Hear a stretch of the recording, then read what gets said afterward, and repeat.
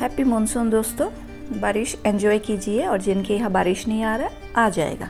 और जिनके यहाँ बहुत ज़्यादा बारिश हो रहा है, उनके लिए so sorry God bless you बाकी छोटे छोटे टिप्स लेके आई हूँ। अक्सर आप लोग भी फॉलो करते हो।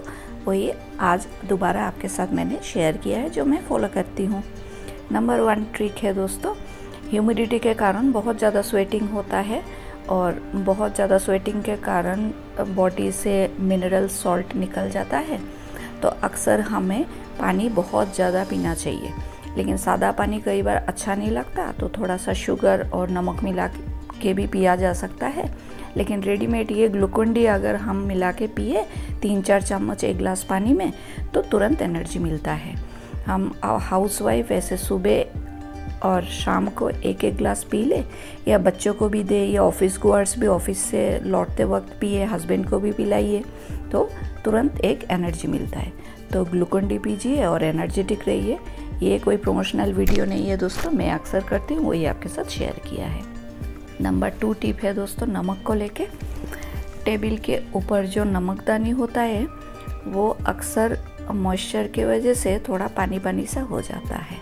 एक टिप अपनाती हूँ, इसके वजह से नमक बिल्कुल फ्री फ्लो रहता है। एक कटोरी में ऐसे हम नमक ले लेंगे। मेरा नमक थोड़ा सा मोटे दाने का है, क्योंकि सेंधा नमक लेती हूँ मैं। तो ऐसे नमक लेके, नमक के अंदर थोड़ा सा डाल दूँगी चावल। जो चावल हम राइस खाते हैं ना, वही चावल है। और अच्छी तरह से नमक के साथ हम मिला लेंगे और इसके बाद नमक दानी में हम डाल के रख लेंगे। इस तरह से अगर नमक में चावल मिला के थोड़ा सा रखेंगे तो नमक दानी में से जब भी नमक हमें नमक चाहिए होगा तो नमक ही गिरता है, चावल का दाना कोई भी नहीं गिरता। और इस तरह से नमक साल भर भी नमकदानी में फ्री फ्लो फ्री फ्लो रहता है। तो है ना मज़ेदार ट्रिक दोस्तों? और जो ओपन नमकदानी है, उसमें भी चावल मिलाती हूँ।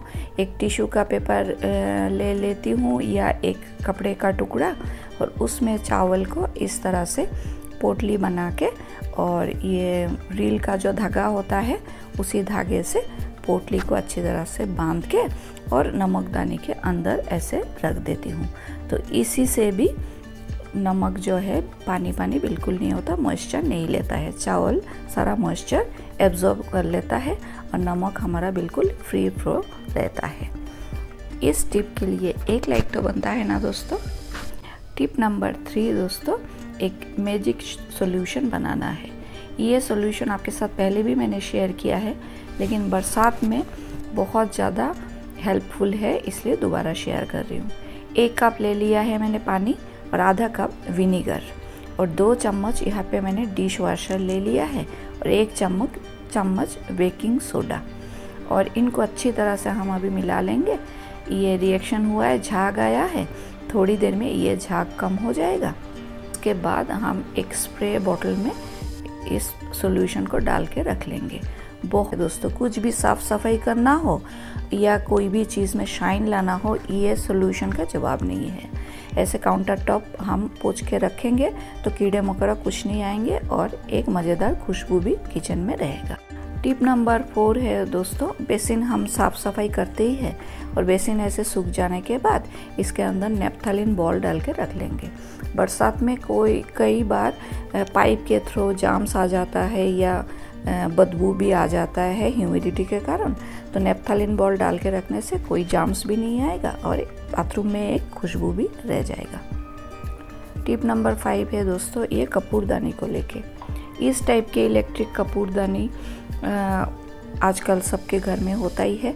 अगर आपके पास नहीं है तो एक ले लीजिएगा, बहुत कॉस्टली है नहीं। और इसके अंदर हम कपूर डाल के ऐसे लाइट जला के रखेंगे।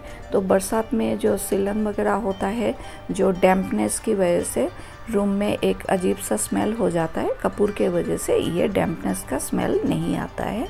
उल्टा एक फ्रेश स्मेल घर में पूरा होता है और बहुत ही अच्छा वातावरण हो जाता है। और कपूर जलाने की वजह से घर के अंदर से जाम्स भी निकल जाता है। और वास्तु के हिसाब से भी कपूर जलाना बहुत अच्छी बात होता है। और कपूर जिनको पसंद नहीं है, वो थोड़ा सा पानी डाल के और एसेंशियल ऑयल भी डाल के रख सक रख सकते हैं चार पाँच बूंद।